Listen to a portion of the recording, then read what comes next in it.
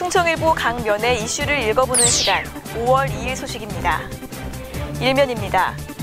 충북 교육이 총체적 위기에 빠졌습니다. 교원들의 잇따른 성 관련 범죄에 이어 학교 폭력 사건까지 터지면서 쇄신을 요구하는 목소리가 커지고 있습니다. 이면입니다. 박근혜 대통령이 지난 1일 우리나라 대통령으로는 1962년 수교 이후 사상 처음으로 이란 국빈 방문길에 올랐습니다. 이번 방문으로 제2의 중동 붐이 예상됩니다. 3면입니다. 충북도와 충북도 교육청이 여야 국회의원 당선인들을 초청해 정책 간담회를 열었습니다. 내년도 정부 예산 확보 등 주요 현안에 대한 협조를 요청했습니다. 4면입니다.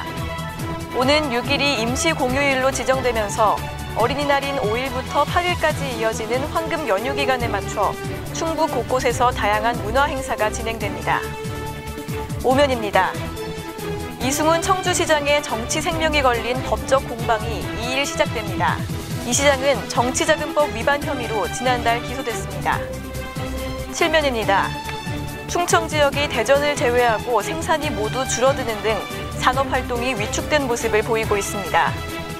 백화점과 대형마트의 판매 또한 감소했습니다. 14면입니다.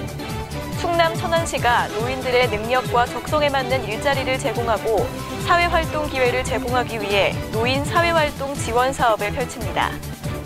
16면입니다.